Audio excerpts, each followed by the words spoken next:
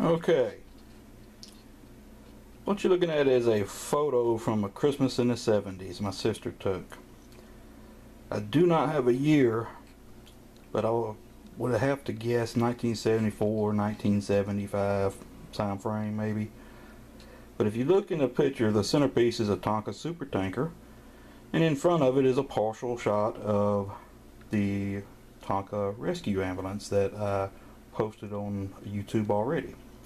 That belonged to my youngest brother, and my other brother received one of those for Christmas as well. But the super tanker, all mine. Look at there. There's that super tanker that was in the picture. I posted a couple of pictures, uh, I'm sorry, I posted a couple of videos of a few Tonka items that I had in my childhood.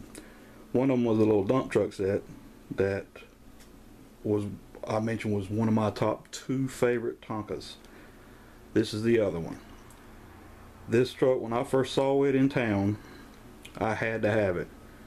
And every time I would go to town with my mom at Christmas time, I would make sure she knew I wanted it, and I got it. This truck was just awesome. You could fill it up with water.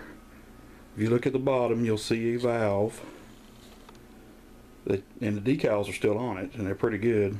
You'll see a valve that you could attach hoses to and I have only one of the two hoses left.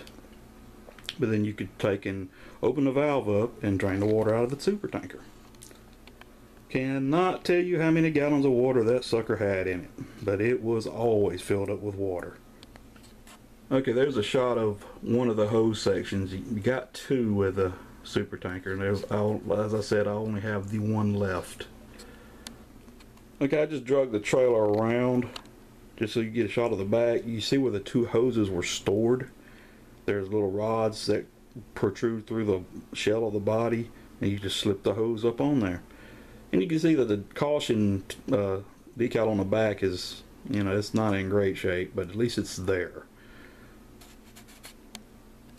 Okay there's a shot of the trailer. Uh, super tanker decal is intact on both sides with a, just a little bit of lifting on the corners. Not much, but just a little bit. And there's the top view. And right there in the center, I'm not going to open it because it's old, but you that's where you would fill it up with water and then close it back. And it had air holes to where when you would pull the truck around with the water in it, it would, I guess, let the air out. and here's the cab. It's just a standard red cab. And this uh, this thing is in really good shape. I have another picture I couldn't locate of where I'm actually outside with it with a couple of friends playing with the super tanker. Uh, I wish I could I wish I had the picture now. I would show you that shot. But this truck was uh, one I didn't leave outside. I didn't really abuse and I think you can tell by the appearance of it. I I really really love this truck. One of the things I really liked about it was the axles on the rear how they were independent and they would just adjust to whatever they rolled across. I thought that was a really neat thing to see on a child's toy back then in the 70s now I have today a total of four of these. One of them is a Chevron uh, sales. Well, let me start over. One of them is was sold through Chevron and it has a Chevron in place of the super tanker. It's still new in the box. It's you know the box is in fairly fair shape, but it's never been taken out of the box. I have another one exactly like this, except for the cab has got rust on the roof and it's missing both hoses. And the last one is an older version. The cab is red. It has the different front end. It's got the metal lower part front end and the tanker body is silver and it has shell on it.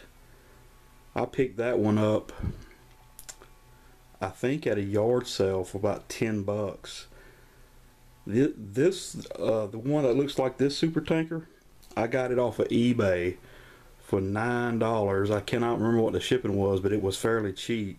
It was just one of those impulse buys. It was running out of time, and nobody had bid on it. So I said, "Well, if I can get it for nine bucks, I'll buy it." So I bid on it and got it. It too is missing the hoses, but I just went ahead and grabbed it just to have. This Tonka Super Tanker. This is one they ought to think about re-releasing again. This was a really fun Tonka, and being that it's mostly plastic except for the cab. I mean, I think today's parents would feel safe with their children playing with it. But it's uh, it was a fun toy. If you have any comments, please post them. If you have this truck, please post a video of it. I would like to see more of these on YouTube. Once again, thank you for viewing and enjoy your day.